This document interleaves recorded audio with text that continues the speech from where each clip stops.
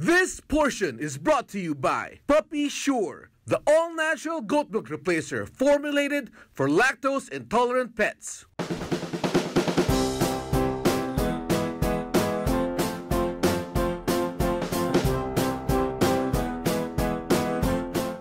Good morning everyone! Welcome to Happy Pets. We are here now sa Wolf Vet Clinic, Pet Hotel and Grooming Center located po dito sa Broadcast City Compound, Capitol Hills Drive, Quezon City. Kasama po natin si Doc Jenny Castro. Doc, please say good morning to our viewers. Good morning everyone and welcome to Wolf Vet Clinic.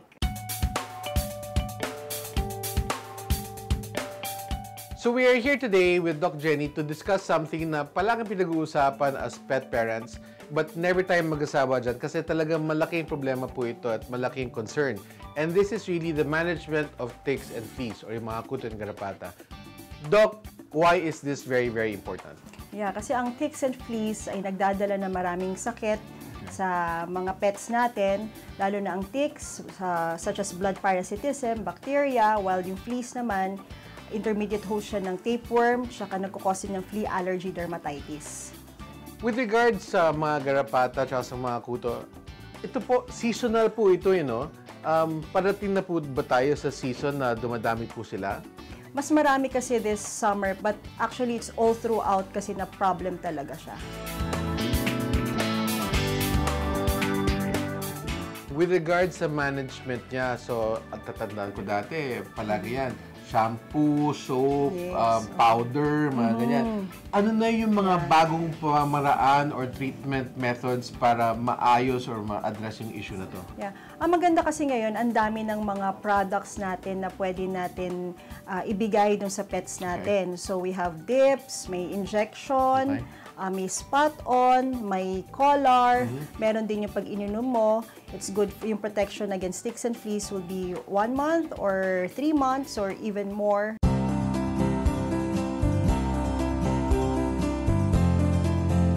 Usually, sinasabi nila yung pagbibigay ng mga ticket flea treatment, applicable po siya if you na nga, if you have um, expensive dogs, ganyan. Pero, um, I imagine this is also very important even if you apply it sa ating breed of the month, which, is yung Philippine Aspin. Importante rin po ba ito for them? Yes, of course. Kasi it's not about the breed. It's really the health of the, the Okay. pet. Kasi, ah, yun nga, like what I've said, pag na makagat sila ng mga parasites na ito, magkakasakit sila. Okay. So, kaya kailangan, kahit, ah, yun nga, ang aspin, kahit any breeds, kailangan talaga silang protektahan, magbigay tayo ng prevention and treatment sa kanila.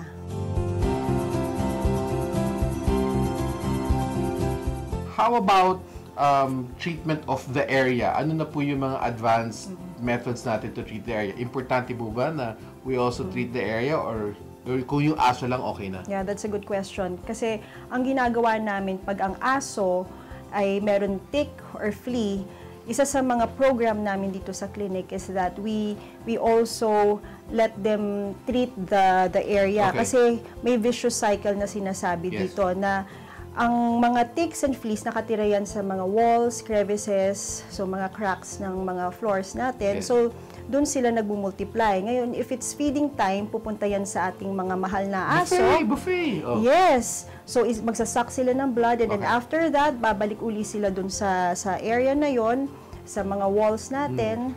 So doon sila mag mangingitlog ng hundreds to thousands.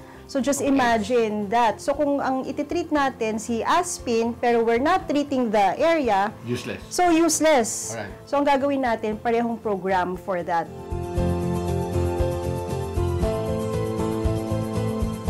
Doc, that's unfortunately our time is running out. Are there any final things you want to say to our viewers? If you want to have a happy and healthy pets, always visit your trusted veterinarians. And if you have more questions, Okay. kindly visit us in our Facebook group. And if there's anything, just contact them. They can answer your questions and any other vet-related issues can be addressed to them. Thank you everyone for watching. Always remember, happy pets, happy parents. Agri TV, hayop ang galing.